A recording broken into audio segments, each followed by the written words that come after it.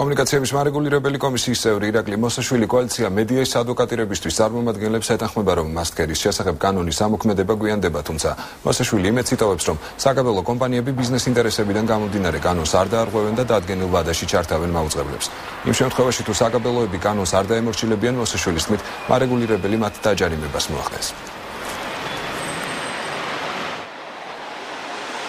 იმ შემთხვევაში თუ რაღაცა პრობლემა შეიქმნა და ეს პრობლემა მოხდა კანონის დარღვევით, აა ნებისმიერი კომპანია უფლებამოსილია კომისიაში შემოიტანოს სარჩელი, თუ დადასტურდა საკაბელო ოპერატორის ბრალი, ამ შემთხვევაში ჯერ მიიღებს ეს საკაბელო ოპერატორი გაფრთხილებას, ხოლო შემდგომში თუ არ აღმოფხრა, ანუ თქვა არ ჩართო ესა თუ ის კომპანია ისევ რაღაც მიზეზის გამო, შემდგომი სანქცია არის